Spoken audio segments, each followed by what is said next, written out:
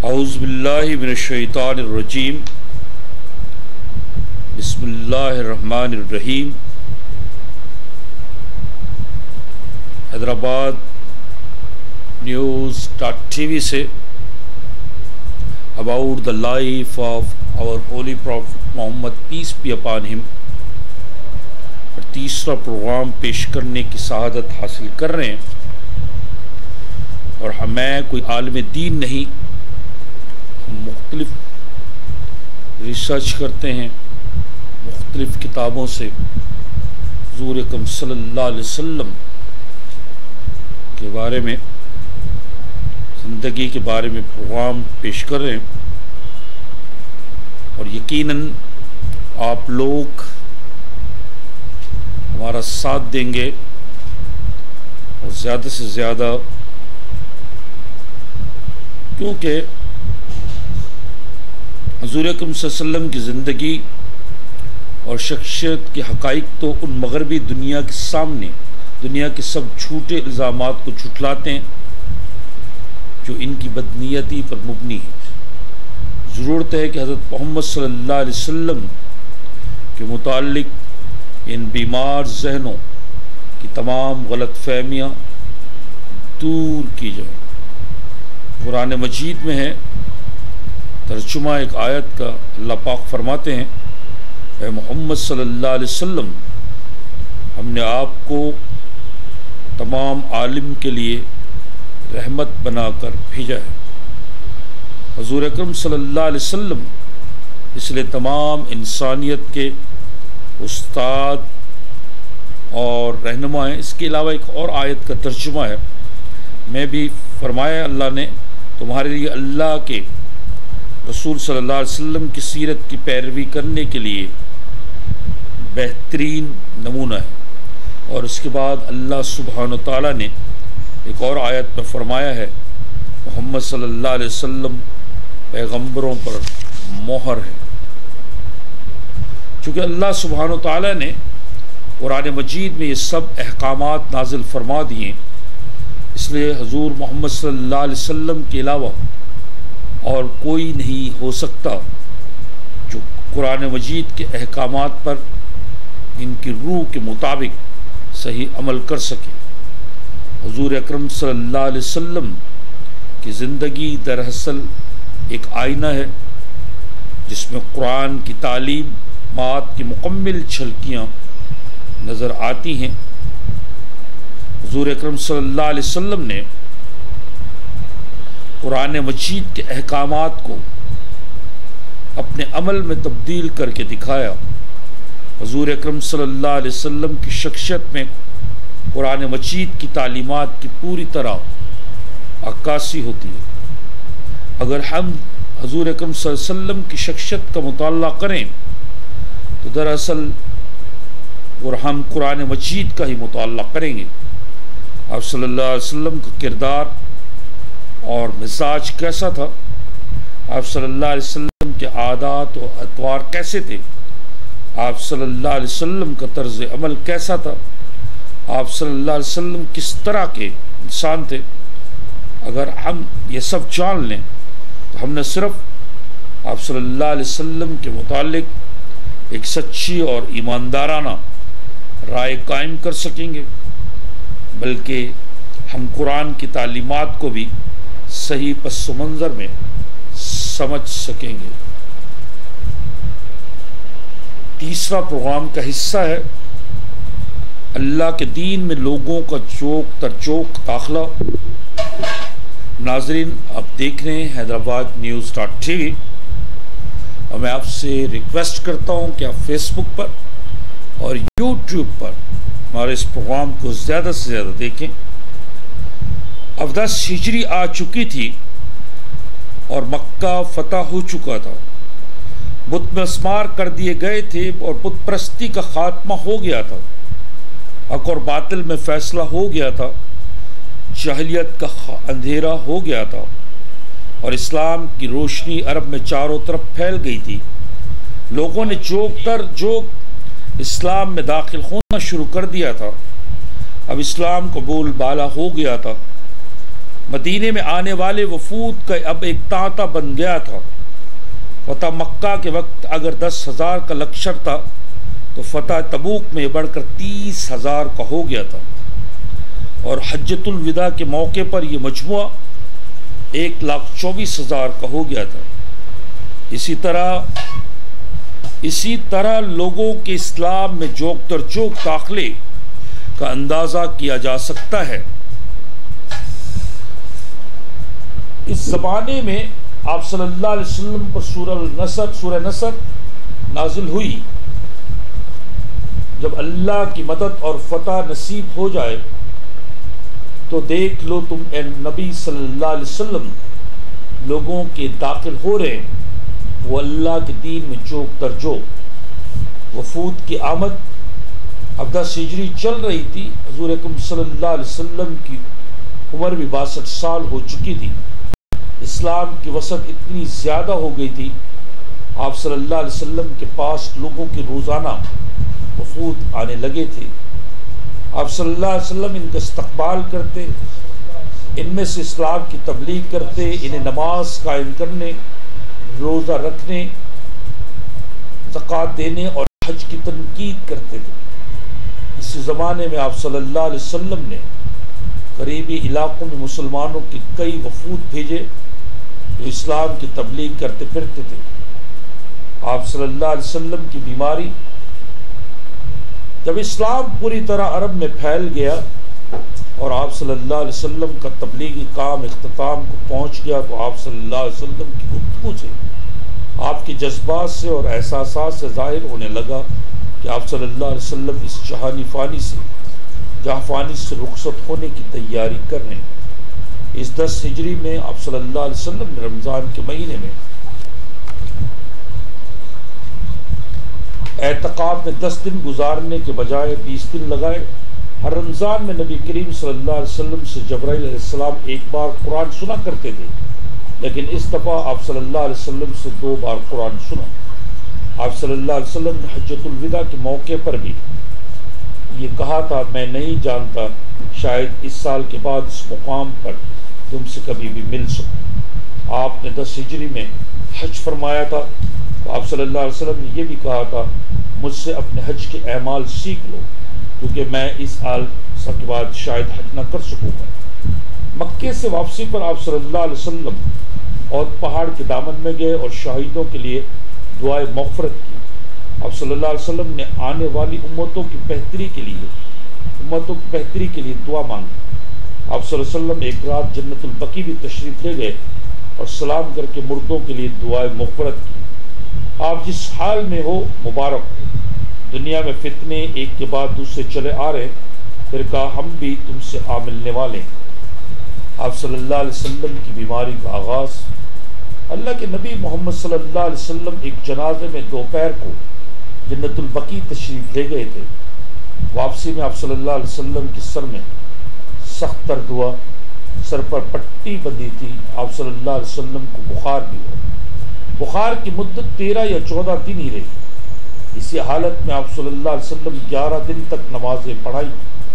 پھر آخری ہفتے میں باغی باقی ازواج متحرات کی اجازت سے آپ صلی اللہ علیہ وسلم حضرت عائشہ کے حجرے میں منتقل ہو گئے۔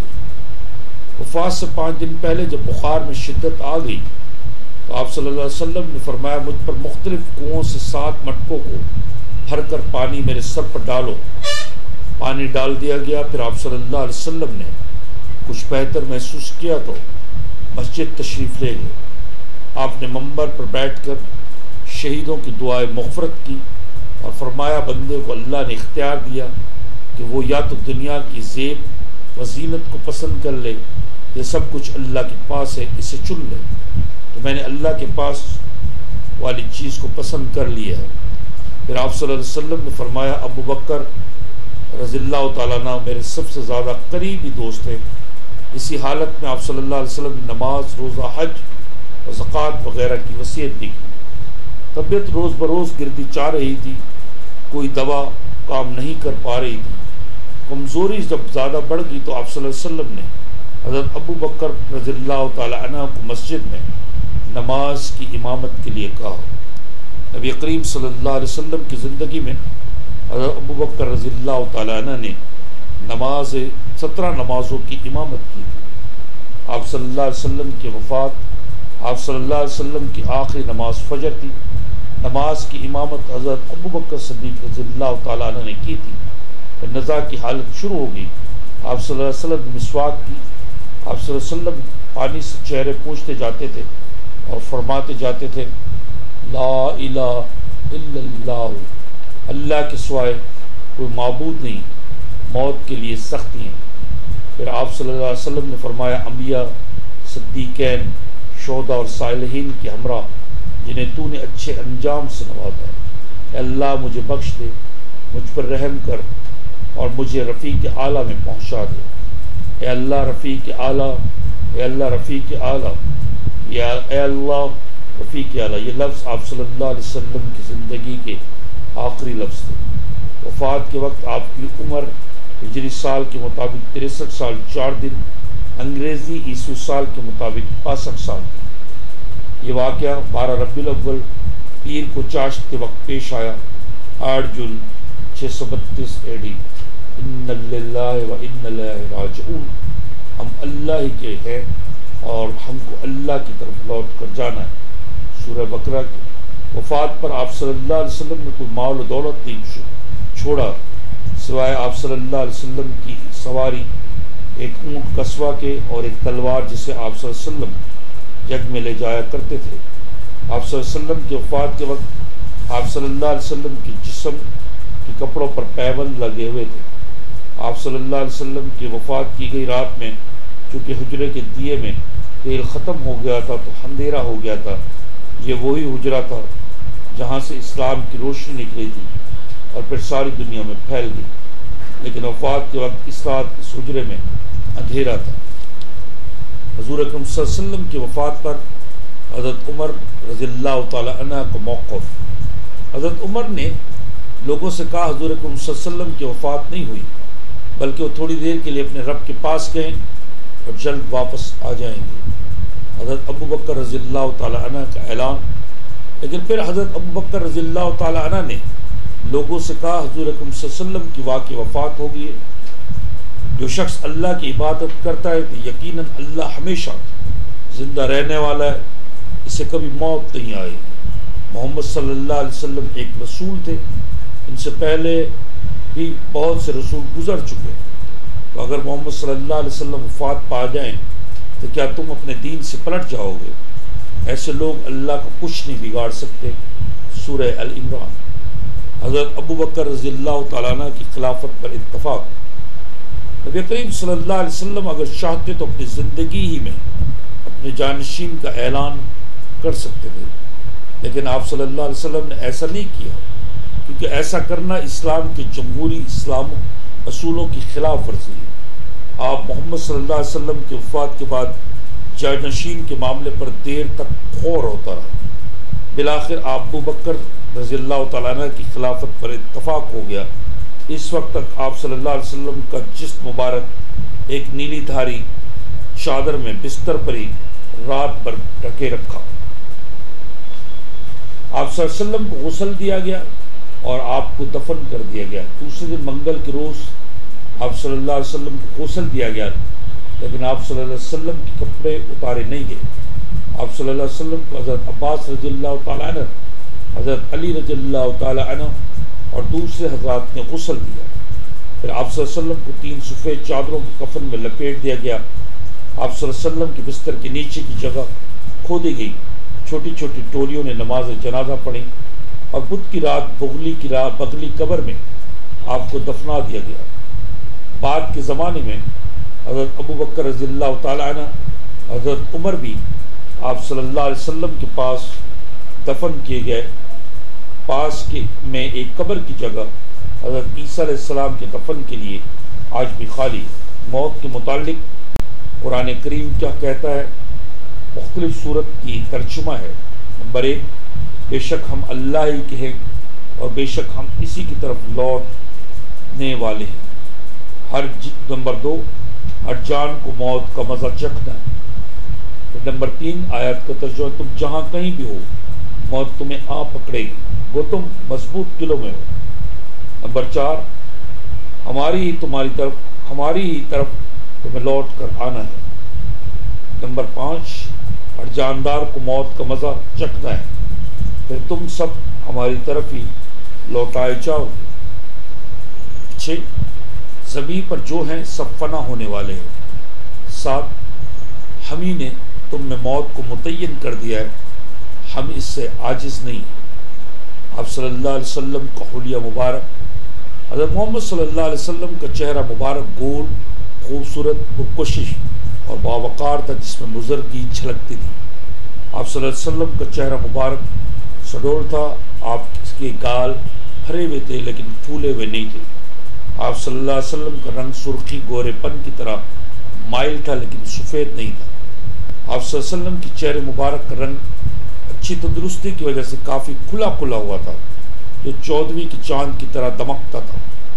آپ کی آنکھیں بڑی بڑی اور کالی تھی آپ کی آنکھیں سرمیلی تھی آپ کی آنکھوں کا سفید حصہ تھوڑا سا سرخ رہتا تھا۔ آپ کی پلکیں لمبی تھیں اور گولائی کے لیے ہوئے تھی آپ کی آنکھوں میں حیا تھی آپ صلی اللہ علیہ وسلم حیا کے پیکر تھے۔ آپ زیادہ تر اپنی نظریں نیچے ہی رکھتے تھے۔ وقت ضرور تو آپ صلی اللہ علیہ وسلم ایک پل بھر بھی اوروں کو ان کے اندر کی انفراد تک کو دیکھ لیتے تھے۔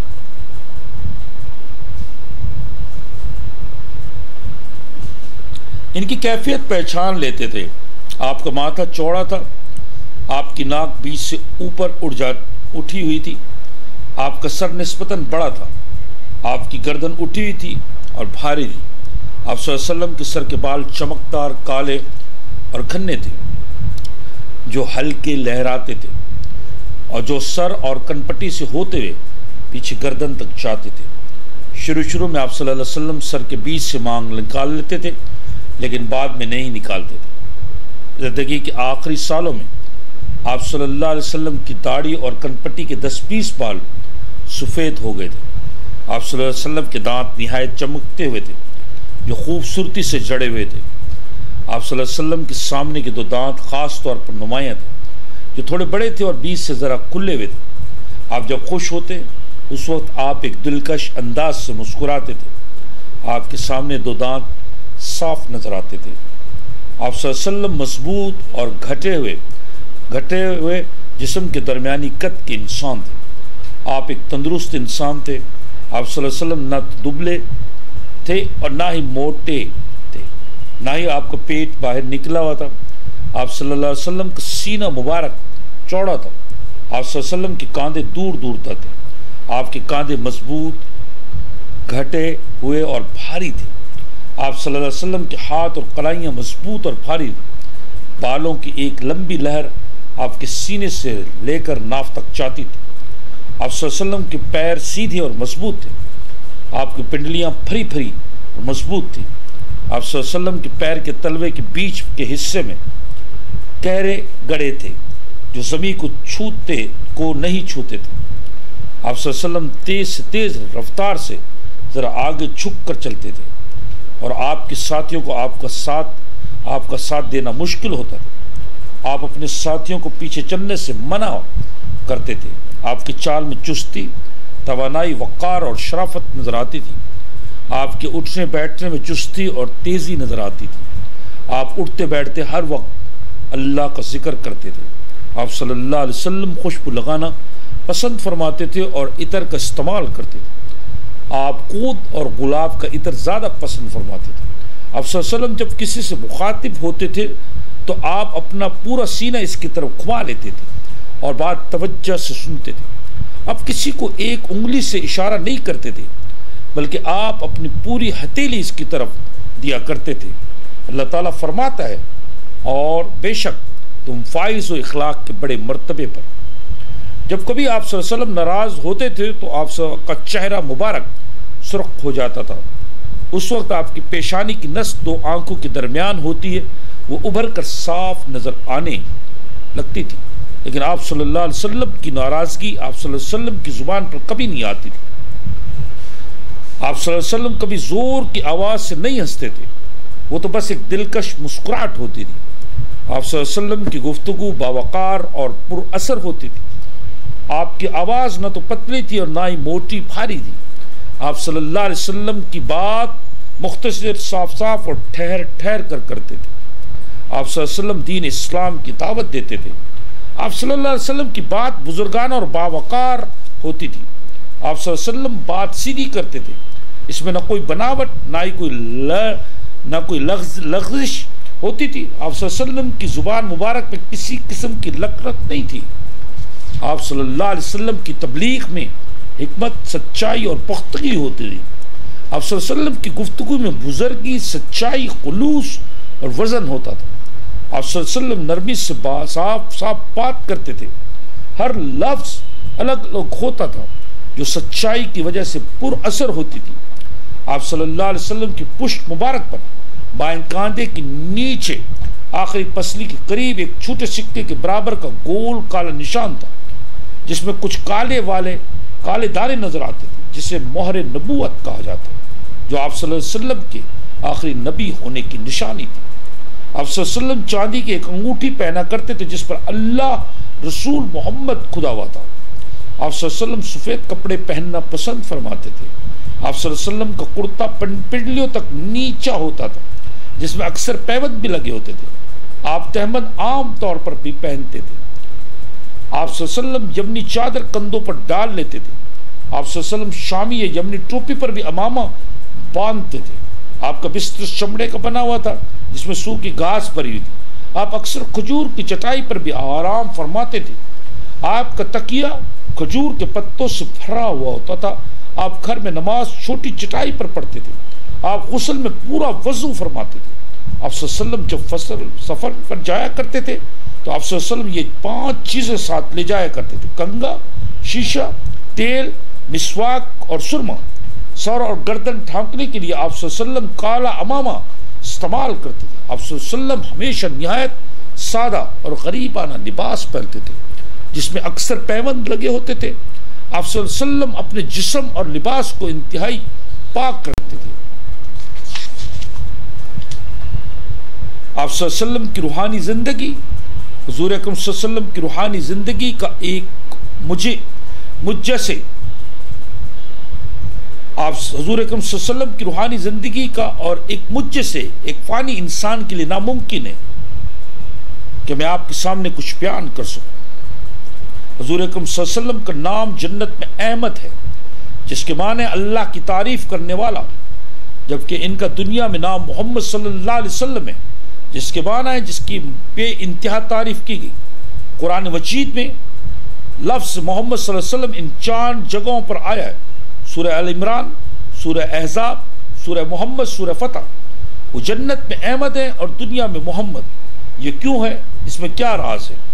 پھر محمد پھر حضور اکرم صلی اللہ علیہ وسلم کا معراج کا واقعہ، مکہ کی مسجد حرام سے یروشلم کی مسجد اقصہ تک، اور وہاں سے سات آسمانوں کے اوپر سے گزر کر اللہ تعالیٰ کے عرش منور تک کا سفر ایک ہی رات میں، اس سفر کی تفصیل تو ایک روحانی اور ایک نورانی تجربہ تھا۔ جو انسانی سمجھ اور تجربے سے بالا تر ہے۔ سورہ بنی اسرائیل کا ترجمہ ہے۔ نبی صلی اللہ علیہ وسلم نے جبرائیل علیہ السلام کو بھی ان کی اصلی شکل میں دو بار دیکھا تھا۔ جبرائیل علیہ السلام نے نے نہ ہی اتارا ہے قرآن تمہارے قلب میں اللہ کے حکم سے۔ پھر چار آیت کا ترجمہ یہ آپ صلی اللہ علیہ وسلم پر اللہ کا ایک عظیم روحانی امتیاز تھا۔ پھر معجزہ شک القبر پیش آیا۔ جب لوگوں نے چاند کو دو ٹکڑے ہوتے دیکھا، یہ بھی ایک کرشمہ تھا۔ پھر ایک سورہ قمر میں ترجمہ فرشتے آپ صلی اللہ علیہ وسلم کی مدد غیب سے کرتے تھے۔ پھر ایک آیت کا ترجمہ مکہ میں ہجرت کے وقت آپ صلی اللہ علیہ وسلم کا محاصرہ کرنے والوں پر خاک ڈال کر ان کی نظروں سے غائب ہو جانا جنگ بدر میں دشمنوں پر خاک ڈالنا، یہ سب اللہ کی طرف سے آپ صلی اللہ علیہ وسلم کے لیے معجزات تھی حضور کی دو مزید پیشن گوئیاں بھی قابل ذکر ہیں۔ پہلی پیشن گوئی رومیوں کی ایرانیوں پر فتح سے متعلق ہے۔ حالانکہ اولین طور پر رومی شکست کھا سکے۔ دوسری پوشن گوئی فتح مکہ۔ حضور اکرم صلی اللہ علیہ وسلم کے مکہ میں فاتحانہ داخل ہونے، فاتحانہ داخل ہونے کے متعلق ہے۔ سورہ فتح۔ اللہ تعالیٰ نے حضور اکرم صلی اللہ علیہ وسلم کو قرآن میں گیارہ دفعہ یا ایوہ النبی کہہ کر پکارا ہے، جبکہ دوسرے پچیس پیغمبروں کو باقاعدہ نام لیا گیا ہے۔ اللہ تعالیٰ نے آپ صلی اللہ علیہ وسلم کو صفاتی ناموں، مثلا مسمل مدثر یاسین اور تاہا سے مخاطب فرمایا۔ قرآن کریم میں اللہ تعالیٰ نے حضور اکرم صلی اللہ علیہ وسلم کو سراج منیر بھی کہا ہے۔ ان تمام باتوں سے ظاہر ہوتا ہے حضور اکرم صلی اللہ علیہ وسلم کے کتنے، حضور اکرم صلی اللہ علیہ وسلم اللہ کے کتنے محبوب ہیں۔ اور اللہ نے ان کو کتنے قریب کا مقام عطا فرمایا آپ صلی اللہ علیہ وسلم اللہ کی ختم نبوت ہے۔ یہ تمام معاملات غیب اور روحانی ہیں۔ یقینی آپ صلی اللہ علیہ وسلم کی ایک زندگی بھی روحانی ہے۔ مسلمانوں کے روحانی جذباتی اور ذاتی لگاؤ آپ صلی اللہ علیہ وسلم کی ذات کے ساتھ بہت مضبوط ہے۔ آپ صلی اللہ علیہ وسلم کی ذات میں ایک کشش ہے، جس سے تمام مسلمان آپ کی طرف کھچے آ چلے آتے ہیں۔ تمام دنیا کے مسلمانوں کے لیے آپ صلی اللہ علیہ وسلم ایک طاقت اور روحانی مقنطیس کی حیثیت رکھتے ہیں۔ ہم ان کی شکر گزار ہیں کہ انہوں نے ہم کو بت پرستی کی لانت سے بچا کر قرآن کا خوبصورت راستہ دکھایا۔ آپ صلی اللہ علیہ وسلم کی زندگی قرآن کی آئینہ دار تھی۔ حضور اکرم صلی اللہ علیہ وسلم کی زندگی قرآنی تعلیمات کا عکس تھی۔ آپ صلی اللہ علیہ وسلم نے ایک مختصر بیماری کے بعد دنیاوی زندگی سے آٹھ جون چھ سو بتیس ایڈ عیسوی میں پردہ فرمایا تھا۔ آپ صلی اللہ علیہ وسلم نے اپنی تیئیس سالہ پیغمبری زندگی میں دنیا کی مذہبی، معاشرتی، معاشی غلام کی زندگیوں کو بدل ڈالا تھا۔ تو آپ صلی اللہ علیہ وسلم کے پاس کوئی مسلح فوج تھی، نہ کوئی پولیس کا محکمہ تھا۔ آپ صلی اللہ علیہ وسلم نے لوگوں کے جسموں پر نہیں، بلکہ دلوں پر حکومت کی تھی۔ حالانکہ آپ صلی اللہ علیہ وسلم امی تھے۔ اب توقع کی جاتی ہے کہ کافروں کے تعصب کے بادل چھٹ چکے تھے چھٹ چکے ہوں گے۔ اور ان کی زندگی کا مطالعہ صحیح روشنی میں کیا جا سکے گا؟ آپ صلی اللہ علیہ وسلم کی زندگی کی کوئی بات چھپی ہوئی نہیں۔ تاریخ کی روشنی میں آپ صلی اللہ علیہ وسلم ایک عظیم پیغمبر کے عہدے پر فائز ہیں۔ حضور اکرم صلی اللہ علیہ وسلم کی سیرت حقیقت میں قرآن مجسم تھی۔ ان کی زندگی قرآن کی زندہ تفسیر تھی۔ قرآن ایک کتاب ہے اور وہ صاحب قرآن صلی اللہ علیہ وسلم اس کی ایک چلتی پھرتی تصویر ہے۔ اللہ تعالیٰ نے سورہ نساء میں فرمایا، جو کوئی بھی پیغمبر کی اطاعت کرتا ہے، وہ اللہ کی اطاعت کرتا ہے۔ آپ صلی اللہ علیہ وسلم نے آنے والی نسلوں کی رہبری کے لیے قرآن و سنت اور احتیث چھوڑی، تاکہ انسانی اخلاقی اور روحانی بلندیوں کو حاصل کر سکے اور ایک بہترین دنیا کی تخلیق کر سکے۔ اللہ کے آخری پیغمبر نہ صرف دن رات تعریف کرنا اور ذکر کرنا ضروری ہے، بلکہ ہر شعبہ زندگی میں ان کی تقلید اور اطاعت کرنا ضروری ہے۔ اللہ تعالیٰ نے سورہ احزاب میں فرمایا، اللہ اور اس کے فرشتے رسول اکرم صلی اللہ علیہ وسلم پر درود بھیجتے ہیں۔ اس لیے مسلمانوں، تم بھی اللہ، تم بھی حضور اکرم صلی اللہ علیہ وسلم پر درود السلام بھیجو دنیا میں نہ صرف مسلمان کو، بلکہ دنیا کے سارے عقل مند لوگوں کو، قرآن مجید کو کم تین بار اپنی زبان میں ترجمے سے پڑھنا چاہیے تاکہ انہیں سمجھ میں آ جائے کہ قرآن کا پیغام اور تعلیم حقوق اللہ اور حقوق العباد کے بارے میں کیا ہے۔ قرآن مجید میں آپ صلی اللہ علیہ وسلم کے کا ذکر مبارک محمد کی معنی ہے جس کی بہت تعریف کی گئی۔ پھر اس کے بعد آپ کا آسمانی نام احمد ہے۔ پھر ایک جگہ قرآن میں ارشاد بھیجا ہے، تم کو اے محمد، لوگوں کے لیے رسول بنا کر اور کافی ہے اللہ کی گواہ۔ مختلف آیات کا ترجمہ میں آپ کے سامنے پیش کرتا ہوں۔ اور نہیں بھیجا ہم نے، نہیں اور نہیں بھیجا ہم نے اللہ نے تمہیں اے محمد، مگر بشارت دینے والا دینے والا اور متنبع کرنے والا بنا کر۔ اور نہیں بھیجا ہے ہم نے اللہ نے تم کو اے محمد صلی اللہ علیہ وسلم مگر رحمت بنا کر جہاں والوں کے لیے۔ اے نبی، بے شک ہم، بے شک ہم ہی نے بھیجا ہے تم کو گواہ بنا کر اور بشارت دینے والا، ڈرانے والا اور بلانے والا اللہ کی طرف اس کی اجازت سے اور بنایا ہے تم کو روشن چراغ۔ اور نہیں بھیجا ہم نے تم کو، اے نبی، مگر تمام انسانوں کے لیے بشر و نظیر بنا کر، لیکن اکثر لوگ جانتے نہیں۔ یقیناً تم رسولوں میں سے ہو۔ اللہ نے بھیجا اپنے رسول ہدایت اور دین حق کے ساتھ تاکہ غالب کر دے، اسے سارے مذہبوں پر۔ اور کافی ہے۔ اللہ اس گواہی کے لیے، محمد اللہ کے رسول ہے آپ صلی اللہ علیہ وسلم نبوت کی تکمیل کرنے والے ہیں۔ اے پیغمبر کہو، اے انسانوں تم سب لوگوں کی طرف اللہ کا رسول ہوں نبی امی تھے، بے شک گزرے ہیں۔ آپ سے پہلے بہت سے رسول۔ آپ صلی اللہ علیہ وسلم سراپا رحمت ہیں۔ ان لوگوں کے لیے جو اہل ایمان ہیں۔ تاکہ تم متنبع کرو ان لوگوں کو۔ نہیں آیا جن کے پاس کوئی متنبع کرنے والا۔ محمد صلی اللہ علیہ وسلم تمام جہانوں کے لیے رحمت پناہ کر بھیجے گئے۔ محمد صلی اللہ علیہ وسلم پڑھ لکھ نہیں سکتے تھے، کیونکہ وہ امی تھے۔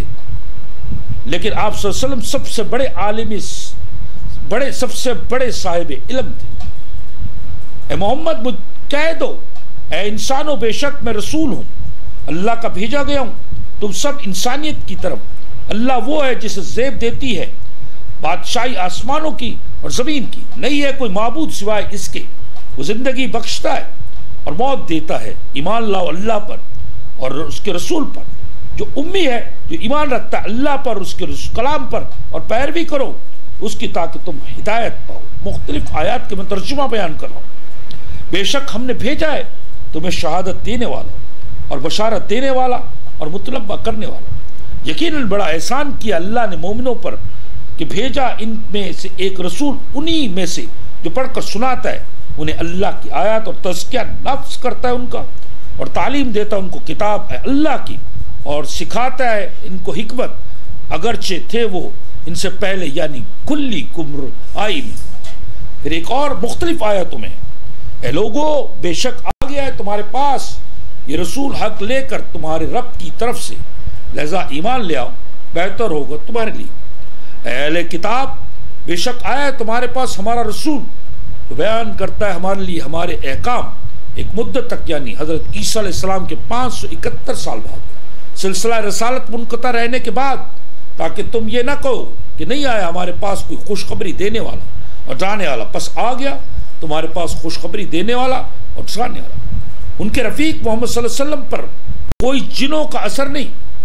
مگر وہ ایک متنبع کرنے والے ہیں، واضح طور پر۔ تم محمد صلی اللہ علیہ وسلم اپنے رب کے فضل سے دیوانے نہیں ہو۔ قیامت کے بارے میں کہہ دو کہ نہیں اختیار رکھتا میں اپنی ذات کے لیے بھی، کسی نفع اور نقصان کا۔ مگر یہ کہ چاہے اللہ اور اگر اگر اور اگر ہوتا مجھے علم غیب تو ضرور حاصل کر لیتا۔ میں بہت فائدے۔ نہیں پہنچتا مجھے کوئی نقصان۔ نہیں ہوں میں، مگر ایک خبردار کرنے والا اور خوشخبری سنانے والا۔ اور کہو بے شک میں تو ہوں صاف صاف متنبع کرنے والا۔ یہ محمد صلی اللہ علیہ وسلم میں متنبع کرنے والے، پہلے متنبع کرنے والوں کی طرح۔ پھر ایک اور سورہ یونس کیا میں جب پڑھ کر سنائی جاتی ہیں ان کافروں کو ہماری آیات، جو بہت واضح ہے، تو کہتے ہیں یہ لوگ جو نہیں توقع رکھتے ہم سے ملنے کی لاؤ کوئی اور قرآن اس کے علاوہ۔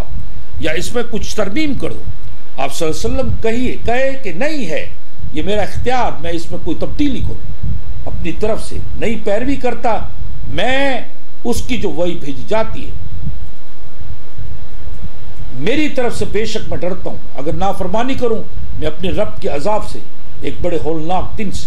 پھر ایک آیت کا ترجمہ عبادت کرو تم صرف اللہ کی۔ یقیناً میں ہوں تمہارے لیے اس کی طرف سے خبردار کرنے والا۔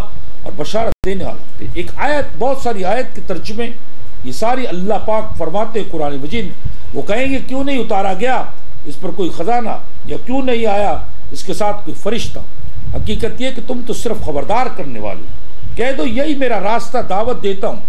میں اللہ کی طرف سمجھ بوجھ کے ساتھ میں بھی اور وہ سب لوگ جو میرے پیروکار ہیں اور پاک ہے، اللہ اور نہیں ہوں، میں مشرقوں میں سے پھر سوچو آخر کون سی ہے؟ کون سی ہے؟ تمہارے صاحب میں سے جنون کی بات نہیں ہے، مگر متنبع کرنے والے تم کو ایک عذاب شدید سے، اس کی آمد سے پہلے۔ کیا یہ کہتے ہیں؟ اس نے ایک کتاب خود کھڑ لیے کہہ دیجیے اچھا لاؤ تم دس صورتیں۔ اس کی مانت بلا مانت اور بلا لاؤ، جن کو تم بلا سکتے اپنے معبودوں میں سے مدد کے لیے، اللہ کے سوائے اگر ہو تم سچے۔ اور آیت ہے ان سے کہیے نہیں ہوں۔ میں کوئی نرالا رسول اور مجھے نہیں معلوم کیا کیا کیا جائے گا میرے ساتھ اور نہ وہ جو کیا جائے گا تمہارے ساتھ پیروی کرتا ہوں، اس وہی کی جو بھیجی جاتی ہے، میری طرف اور نہیں ہوں، میں صاف صاف خبردار کرنے والا اور کہتے ہیں وہ لوگ جو انکار کرتے ہیں کہ نہیں ہو تم بھیجے ہوئے اللہ کی کہہ دو کافی ہے، اللہ گواہی کے لیے میرے اور تمہارے درمیان۔ ہو کافی ہے وہ شخص جس کے پاس آسمانی کتاب کا علم ہے۔ درمیانی گواہی کے لیے وہ جانتا ہے، اسے بھی جو آسمانوں میں اور جو زمین میں۔ اور جو لوگ مانتے ہیں باطل کو اور انکار کرتے ہیں اللہ کا، وہی ہیں گھاٹا اٹھانے والے۔ پھر ایک آیت کا ترجمہ، یہ کیا کہتے ہیں کہ خود گھڑ لیا اس رسول نے؟ یہ قرآن ان سے کہیے، اگر خود گھڑ لیا میں نے، تو تو نہیں بچا سکو گے تو مجھے۔ اللہ کی پکڑ سے ذرا بھی وہ بہتر جانتا ہے۔ ان باتوں کو جو تم بنا رہے اس کے بارے میں کافی اللہ کی گواہی میرے اور تمہارے درمیان، وہی معاف فرمانے والا، اور وہی معاف فرمانے والا، اور ہر حال میں رحم کرنے والا ہے۔ اور ان میں سے ایسے لوگ بھی ہیں جو دکھ دیتے ہیں۔ نبی صلی اللہ علیہ وسلم اور کہتے ہیں کہ کانوں کو کچا ہے۔ آپ کہہ دیجیے وہ کان لگا کر سنتا ہے۔ تمہاری بھلائی کو اور ایمان رکھتا ہے اللہ پر اور اعتماد رکھتا ہے مومنوں پر، سراپا رحمت ہے۔ ان لوگوں کے لیے جو ایمان ہے، تم میں سے جو لوگ دکھ دیتے ہیں، اللہ کے رسول کو ان کے لیے ہے دردناک عذاب۔ بہت ساری آیت ہیں جن کے میں ترجمے آپ کے لوگوں، جو ایمان لائے ہو، اطاعت کرو اللہ کی اور اطاعت کرو رسول کی اور مت برباد کرو اپنے اعمال۔ تو متنبع کر دو۔ ان لوگوں کو کہ نہیں آیا جن کے پاس متنبع کرنے والا، تم سے شاید، تم سے پہلے شاید وہ نصیحت حاصل کریں۔ اے نبی، بے شک ہم نے ہم نے بھیجا ہے تم کو گواہ بنا کر اور بشارت دینے والا اور ڈرانے والا۔ اور بنایا ہے تم کو روشن چراغ۔ تم متنبع کرو۔ ایسی قوم کو کہ نئی متنبع کیے گئے ان کے باپ دادا، اسی وجہ سے وہ غفلت پہ پڑے ہوئے ہیں۔ پھر ترجمہ ہے، پھر اگر یہ منہ موڑیں تو نہیں بھیجا ہے۔ ہم نے تم کو ان پر نگراہ بنا کر، نہیں ہے تم پر، مگر صرف قرآن پہنچا دینے کی ذمہ داری۔ مختلف آیات کے ترجمے میں پیش، میرا کام اللہ کی بات، اس کا پیغام لوگوں کو پہنچا دینا ہے۔ اور جو بھی اللہ اس کے رسول کی نافرمانی کرے گا، اس کے لیے جہنم کی آگ ہے، جس میں لوگ شدید رہیں۔ بے شک ہم نے تم پر بتریج بتریج قرآن نازل کیا ہے۔ بس تم اپنے رب کے حکم پر قائم رہو۔ ان میں سے کسی گناہ گار یا نہ شکرے کا کہاں نہ مانو اور اپنے رب کا نام صبح و شام لیا کرو۔ مختلف آیتوں کی ترجمے اگر اللہ تعالیٰ کو منظور ہوتا تو یہ شرک نہ کرتے۔ ہم نے آپ صلی اللہ علیہ وسلم کو ان کا نگراں نہیں بنایا اور نہ آپ صلی اللہ علیہ وسلم ان پر داروغ آئے کیا ان لوگوں کو اس بات سے تعجب ہوا ہے؟ ہم نے ان کو میں سے ایک شخص کے پاس وہی بھیج دی کہ سب آدمیوں کو ڈرائے اور جو ایمان لے آئے، ان کو خوشخبری سنائے، ان کے رب کے پاس ان کو پورا اجر مرتبہ ملے گا۔ کافروں نے کہا، یہ شخص تو بلا شبہ سری جادوگر ہے۔ تو آپ صلی اللہ علیہ وسلم انہیں سمجھاتے رہیں، کیونکہ وہ اپنے رب کے فضل سے نہ تو آپ کا کان ہو اور نہ دیوانے آپ صلی اللہ علیہ وسلم کہہ دیجیے کہ میں تو تم جیسا ہی ایک انسان ہوں، میری جانب وہی کی جاتی ہے۔ وہی کی جاتی ہے کہ سب کا معبود صرف ایک ہی ہے۔ تو جسے اپنے پروردگار سے ملنے کی آرزو ہو تو اسے چاہیے نیک اعمال کرے اور اپنے پروردگار کی عبادت میں کسی اور کو شریک نہ کرے۔ مختلف آیات کے ترجمے، تمہارا رفیق نہ بھٹکا ہوا ہے، نہ بہکا ہوا ہے۔ اور جب دیکھتے ہیں آپ یہ آپ صلی اللہ علیہ وسلم کو تو کچھ نہیں کرتے۔ آپ صلی اللہ علیہ وسلم کے ساتھ سوائے مذاق اڑانے کے کہتے ہیں کیا یہ وہ شخص جس کو بھیجا اللہ نے رسول بنا کر؟ اور کہتے ہیں یہ لوگ کافر، یہ اور کہتے ہی ہیں، یہ کافر لوگ کیا ہم تمہیں بتائیں؟ ایسا شخص جو خبر دیتا ہو کہ تم کو جب تمہارا جسم ریزہ ریزہ ہو کر منتشر ہو جائے گا، تو بلا شبہ تم پھر سے پیدا کیے جاؤ گے۔ نئے سرے سے۔ اے نبی، ان سے کم نہیں مانگتا میں تم سے اس کام پر کوئی اجرت، اس کے سوائے جو چاہے اختیار کر لے اپنے رب کا راستہ۔ کہیے، کیا مانگا ہے؟ میں نے تم سے کوئی اجر، وہ تمہیں تمہیں مبارک ہو، نہیں ہے۔ میرا اجر مگر اللہ کے ذمے، وہ ہر چیز کو دیکھ رہا ہے۔ اے نبی، ان سے کہہ دیجیے، نہیں مانگتا میں تم سے اس خدمت پر اجر، اور نہیں ہوں میں بناوٹ کرنے والوں میں سے۔ یہ وہی شخص جس کی خوشخبری دیتا ہے۔ اللہ اپنے اپنے، اللہ اپنے ان بندوں کو جو ایمان لائے، جنہوں نے نیک، جنہوں نے کیے نیک عمل، ان سے کہیے کہ نہیں مانگتا ہوں، میں تم سے اس خدمت پر کوئی اجر سوائے اس کے کہ محبت ہو قرابت داروں میں۔ پھر مختلف آیات کے ترجمے مجھے حکم دیا گیا ہے، عبادت کروں۔ اس شہر مکہ کے رب کی جس نے محترم بنا دیا ہے اسے، اور جو مالک ہے ہر چیز کا، اور حکم دیا گیا ہے مجھے کہ بن کر رہو میں اطاعت گزار اور پڑھ کر سناؤں قرآن۔ بس جو ہدایت اختیار کرے گا، تو وہ ہدایت اختیار کرے گا، اپنے ہی فائدے کے لیے۔ اور جو گمراہ ہوگا، تو کہہ دو، میں تو بس ہوں ان لوگوں میں سے ایک جن کا کام خبردار کرنا ہے۔ سو سیدھا رکھو، تم اپنا قبلہ، سو تو سیدھا رکھو، تم اپنا رخ۔ دین اسلام کی سمت یکسو ہو کر جو اللہ کا دین فطرت ہے، جس پر پیدا فرمایا اس نے انسان کو نہیں بدلی جا سکتی ہیں۔ اللہ کی بنائی ساخت یہی دین راست اور درست، لیکن بہت سے انسان اس بات کو نہیں سمجھتے۔ مختلف آیات کا پھر ترجمہ ہے۔ پیغمبر زیادہ مقدم ہیں۔ اہل ایمان پر خود ان کے پاس اپنی ذات سے زیادہ۔ یقیناً تمہارے لیے رسول اللہ کی ذات میں بہتر نمونہ ہر اس شخص کے لیے جو امیدوار ہو اللہ کا اور یام یوم آخرت کا اور جو ذکر کرتا رہتا ہو اللہ کا بہت زیادہ۔ نہیں ہے محمد صلی اللہ علیہ وسلم باپ کسی کے تمہارے مردوں میں سے، بلکہ وہ رسول ہیں، اللہ کے اور سلسلہ نبوت کی تکمیل کرنے والے اور اللہ ہے ہر چیز سے پوری طرح باخبر۔ اور نہیں بھیجا ہم نے تم کو، اے نبی، مگر انسانوں کے لیے بشیر اور نذیر بنا کر لیکن اکثر لوگ جانتے نہیں۔ پھر مختلف آیاتوں میں ہے۔ یقیناً وہ لوگ یقیناً جو لوگ بیعت کر رہے تھے، تمہاری در حقیقت وہ بیعت کر رہے ہیں اللہ کی۔ اللہ کا ہاتھ تھا، ان کے ہاتھوں کے اوپر دیا۔ بلا شبہ راضی ہو گیا اللہ مومنوں سے جب وہ بیعت کر رہے تھے۔ تم سے درخت کے نیچے، سو وہ جانتا تھا۔ ان کی دلوں کی کیفیت، سو نازل فرمائی، اللہ نے تسکین ان پر اور انعام میں عطا فرمائی۔ انہیں قریبی فتح محمد صلی اللہ علیہ وسلم اللہ کے رسول ہیں۔ یقیناً وہ لوگ جو مخالف کر مخالفت کرتے ہیں، اللہ اور اس کے رسول کی، وہی سب سے ذلیل مخلوق ہے۔ قرآن مجید کی مختلف آیات کا ترجمہ پیش کروں، اور کیا ہو گیا؟ تمہیں نہیں ایمان لاتے ہو اللہ پر، جبکہ رسول دعوت دے رہے ہیں۔ تمہیں کہ ایمان لاؤ اپنے رب پر۔ وہی ہے جس نے اپنے رسول کو ہدایت اور سچا دین دے کر بھیجا ہے۔ تاکہ اسے دیگر تمام مذاہب پر غالب کر یہ وہ لوگ جو اتباع کریں گے اس رسول کی، جو نبی امی ہے جسے پاتے ہیں، وہ لکھا ہوا اپنے پاس تورات میں اور انجیل میں جو حکم دیتا ہے، انہیں نیکی کا اور منع کرتا ہے انہیں بدی سے اور حلال کرتا ہے ان کے لیے پاکیزہ چیزیں اور حرام ٹھہراتا ہے ان کے لیے ناپاک چیزیں اور اتارتا ہے ان پر سے ان کے بوجھ اور کھولتا ہے ان کی بندش جو تھی۔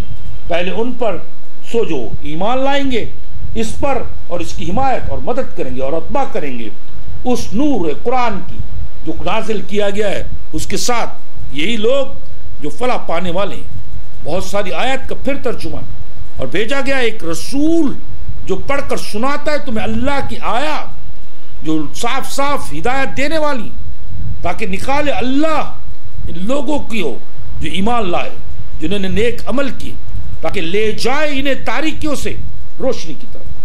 اے نبی صلی اللہ علیہ وسلم، جہاد کرو کافروں سے اور منافقوں سے۔ سختی سے پیش آؤ۔ ان کے ساتھ ان کا ٹھکانہ جہنم ہے۔ اور بے شک آپ صلی اللہ علیہ وسلم فائز ہیں اخلاق کے اعلیٰ مرتبے پر۔ قرآن مجید کی پھر مختلف آیات ہیں بے شک قرآن قول قرآن قول ہے رسول عالی مقام کا۔ اور نہیں ہے یہ کلام کسی شاعر کا۔ بہت ہی کم ایمان لاتے ہو تم۔ اور یہ نہیں ہے قول کسی کا ہن، جادوگر کا پیشن گوئی کرنے والے کا۔ بہت ہی کم غور کرتے ہو تم، بلکہ نازل کردہ ہے یہ رب العالمین کی طرف سے۔ اے اور لپیٹ کر سونے والے، کھڑے رہا کرو رات کو نماز میں، مگر تھوڑا حصہ۔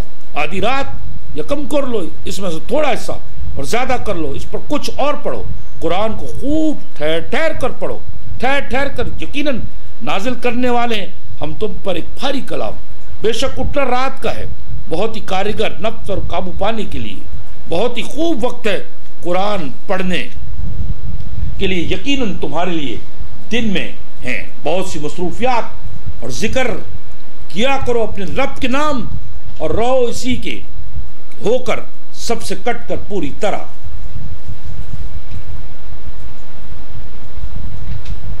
اے محمد صلی اللہ علیہ وسلم، کہہ دو لوگو، میں تم سب کی طرف سے خدا کا بھیجا ہوا یعنی اس کا رسول ہوں، جو آسمانوں اور زمین کا بادشاہ ہے۔ اس کے سوائے کوئی معبود نہیں، وہ زندگی بخشتا ہے، کوئی موت دیتا ہے۔ تو خدا پر، اس کے رسول، پیغمبر صلی اللہ علیہ وسلم امی پر، جو خدا پر، اس کے تمام کلام پر ایمان رکھتے ایمان لاؤ، ان کی پیروی کرو، تاکہ ہدایت پاؤ۔ مختلف آیات کا پھر ترجمہ۔ اے لوگو، یقیناً ہم نے بھیجا ہے تمہاری طرف ایک رسول گواہ بنا کر تم پر۔ جس طرح ہم نے بھیجا تھا فرون کی طرف ایک رسول موسا اے نبی، اپنے رب کی بڑائی کا اعلان کرو۔ پھر اور بلا شبہ وہ اسے حضرت جبرائیل کو دیکھ چکا ہے۔ اترتے ہوئے ایک بار اور اور بھی صدرت المنتہا کے قریب، اس کے آس پاس جنت الماوا جب چھا رہا تھا صدرہ پر جو کچھ چھا رہا تھا، نہ چھندائی نگاہ، نہ حد سے بڑی۔ بلا شبہ اس نے دیکھی اپنے رب کی بڑی بڑی نشانیاں۔ یہ کلام قرآن کسی شیطان مردود کا نہیں ہے۔ پھر کدھر چلے جا رہے ہو؟ تم نہیں ہے قرآن، مگر نصیحت سب اہل جہاں کے لیے۔ ہر اس شخص کے لیے جو چاہے تم میں سے سیدھی راہ چلنا اور نہیں چاہ سکتے ہو۔ مگر یہ کہ چاہے اللہ رب العالمین مختلف آیت کا پھر ترجمہ اور سجدہ کرو اپنے رب کو اور اس کی قربت حاصل کرو۔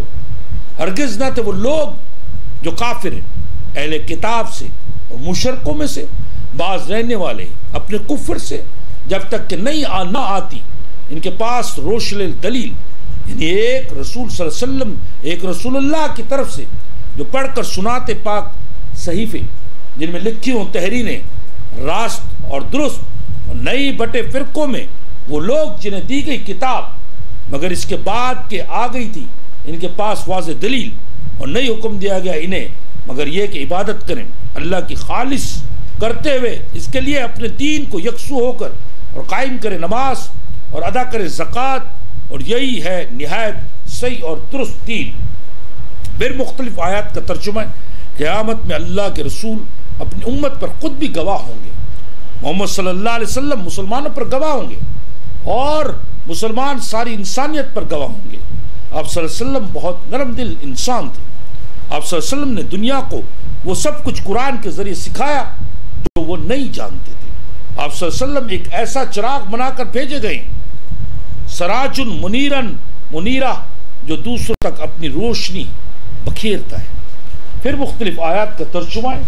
محمد صلی اللہ علیہ وسلم نے انسانیت کو تارکیوں سے نکال کر روشنیوں تک پہنچا دیا۔ مختلف آیات میں محمد صلی اللہ علیہ وسلم نہ تو دیوانے تھے، نہ کاہن تھے اور نہ مجنون تھے۔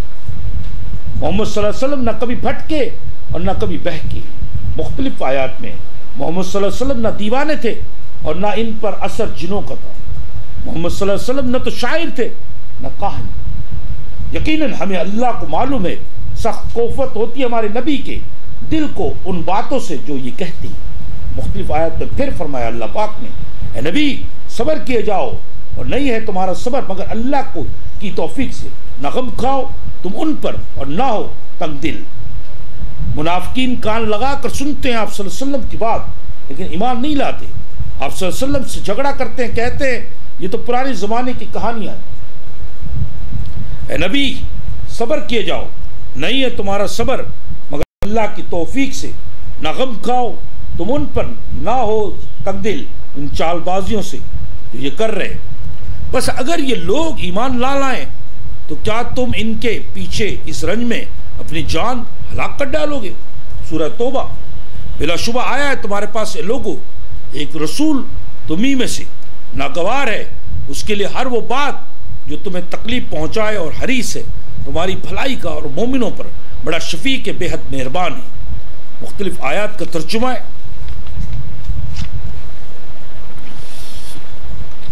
اور رسول کہیں گے، میرے پروردگار، بے شک میری امت نے اس قرآن کو چھوڑ دیا تھا۔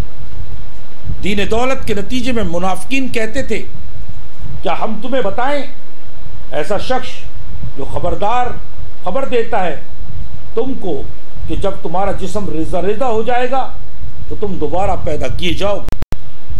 پھر سورہ میں دیگر آیات میں میں یقیناً ہم ہی زندہ کریں گے مردوں کو۔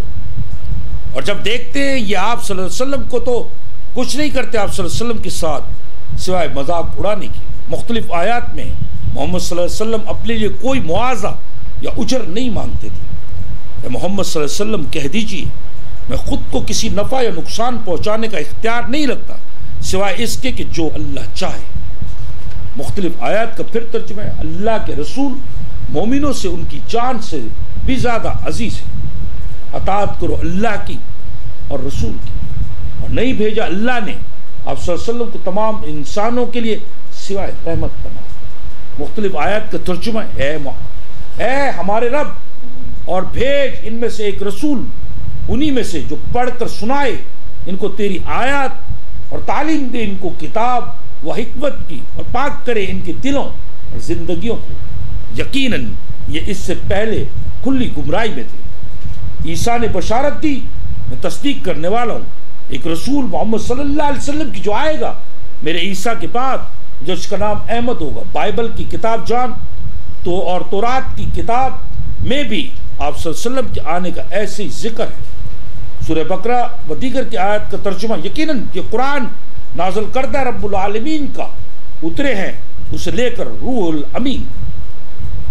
آپ ایک رات مکے سے براق پر بیٹھ کر مسجد اقسا یروشلم پہنچے۔ وہاں سب نبیوں کی، نماز کی، امامت کی، پھر سات آسمانوں سے ہو کر مقام منتہا تک پہنچے۔ اور اللہ تعالیٰ کی جو نشانیاں تھی وہ دیکھی، اس کو سفر معراج کہتے پھر مختلف آیات کا ترجمہ ہے۔ آپ نے دس سال پہلے ہی رومیو کو فارسیوں پر فتح کی پیشن گوئی کر دی تھی۔ آپ نے مکہ کی فتح اور مسلمانوں کے داخلے کی نشان نہیں خواب میں دیکھی تھی۔ قرآن مجید میں آپ صلی اللہ علیہ وسلم کے نام محمد کے علاوہ آپ صلی اللہ علیہ وسلم کو مدثر، مزمل تاہ سورہ یاس، اور یاسین کہہ کر بھی مخاطب کیا گیا۔ آپ کی اضافی پینتیس ناموں کی لسٹ آگے دے گی آپ صلی اللہ علیہ وسلم پر اللہ اس کے ملائکہ درود اور سلام بھیجتے ہیں اس لیے اے مسلمانوں، تم بھی آپ صلی اللہ علیہ وسلم پر درود و سلام بھیجو۔ حضور اکرم صلی اللہ علیہ وسلم کے خطبہ حجت الوداع کے بعد اللہ تعالیٰ نے اعلان کیا، آج میں نے مکمل کر دیا تمہارے لیے دین کو۔ پھر ایک سورہ کا ترجمہ مومنوں کو ہدایت کی گئی۔ ٹھیک ہے، جب تم نبی صلی اللہ علیہ وسلم سے مشورہ کیا کرو، تو پہلے صدقہ دیا کرو۔ آپ صلی اللہ علیہ وسلم حافظ قرآن تھے۔ اور آپ صلی اللہ علیہ وسلم نے فرشتے جبریل علیہ السلام کو آخری بار دو دفعہ پورا قرآن سنایا تھا۔ اے نبی صلی اللہ علیہ وسلم، آپ کافروں اور منافقون سے سختی سے پیش آئے پھر ترجمہ ہے، اور فرقہ بندی مت کرو۔ مضبوطی سے تھام لو، اللہ کی رسی کو سب مل کر۔ اے ایمان والو نہ بناؤ کافروں کو دوست سوائے مومنوں کے۔ مومن مرد اور مومن عورتیں ایک دوسرے کے رفیق ہیں۔ اور ایمان والوں کے بیچ صلح کرو۔ مختلف آیات کا ترجمہ ہے۔ اے نبی، کہہ دو، یہی ہے میرا راستہ کہ دعوت دیتا ہوں میں اللہ کی طرف۔ اور لوگ جو بھی میرے پیروکار ہیں تم میں سے ایک ایسا گروہ ضرور ہونا چاہیے جو لوگوں کو حق کی طرف دعوت دے۔ جو لوگ مسلمان نہیں ہیں، انہیں رازدار اور دوست نہ بناؤ۔ پھر مختلف آیات کا ترجمہ ہے۔ اللہ پاک قرآن مجید میں فرماتے ہیں، نہیں ہے محمد صلی اللہ علیہ وسلم، تم میں سے کسی کے باپ، بلکہ وہ اللہ کے رسول اور سلسلہ نبوت کی تکمیل ہے۔ نبی کہتو اپنی بیویوں سے اور اپنی بیٹیوں سے اور اہل ایمان کی عورتوں سے کہ وہ لٹکا لیا کریں۔ اپنے اوپر، اپنے چادر کے پلو۔ یہ زیادہ مناسب طریقہ ہے تاکہ وہ پہچان لی جائیں۔ اور نہ ستائی جائیں اے میری قوم کے لوگوں کیسی عجیب بات ہے کہ میں تمہیں دوزک سے نجات کی طرف بلاتا ہوں، تم مجھے دوزک کی طرف بلاتے ہو۔ پھر مختلف آیات کا ترجمہ ہے۔ آپ کہہ دیجیے، میں بھی تمہاری طرح کا ایک انسان ہوں۔ پھر ترجمہ ہے، وہ اللہ ہی ہے، جس نے امیوں کے اندر ایک رسول بھیجا، جو خود انہی میں سے اٹھایا گیا ہے، جو انہیں اللہ کی آیات پڑھ کر سناتا ہے۔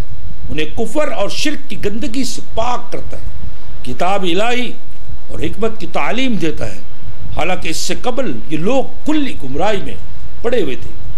اللہ نے تمہارا نام مسلم رکھا ہے، پہلے بھی اور اس قرآن میں بھی، تاکہ بنے رسول گواہ تم پر اور بنو تم گواہ لوگوں پر۔ آپ نے سفر معراج کے موقع پر دوزک اور جنت کو دیکھا۔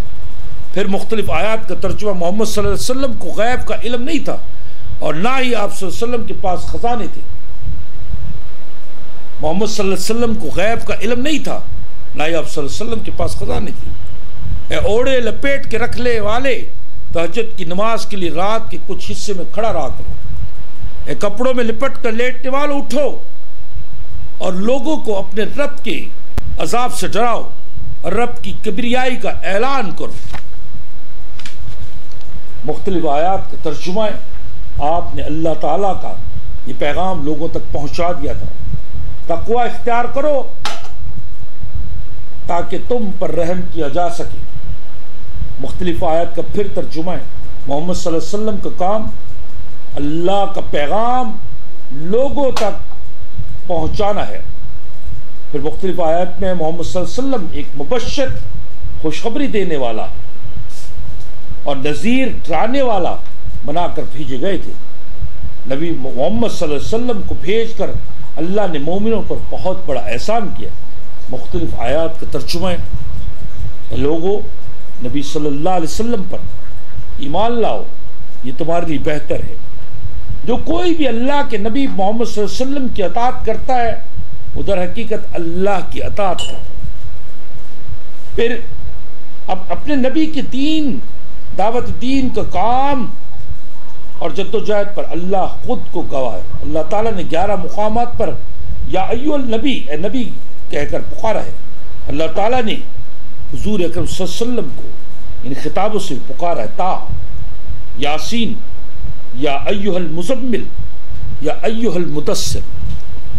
اے نبی، ہم نے تم پر یہ قرآن اس لیے نازل نہیں کیا کہ تم مشقت میں پڑ جاؤ۔